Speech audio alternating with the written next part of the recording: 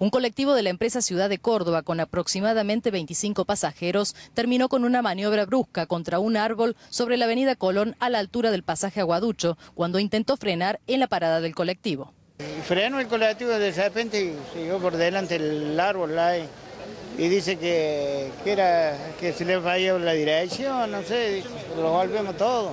Cuando intenta frenar el colectivo hace fricción en el piso, se produce el, el derrape que está marcado en el piso y este, eso el tipo no lo supo controlar y bueno, el colectivo se da contra el, contra el árbol, se destroza la parte del frente del colectivo y todo lo que venimos en, el, en el, interior del colectivo, este, no, nos hicimos pomo, nos hicimos pomo, en pocas palabras.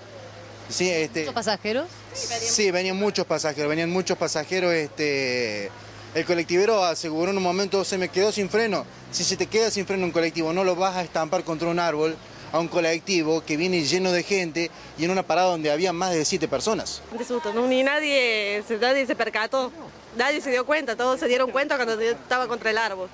Los pasajeros que se vieron sorprendidos por el impacto sufrieron lesiones de distinta consideración. Diez de ellos fueron trasladados al hospital de urgencias. Venía parado yo y venía bien agarrado. Yo caí sobre la, señora en la asiento.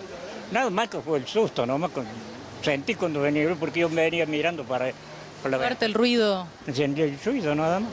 Y vi a la gente que toda que venía parada estaba en el pasillo caído.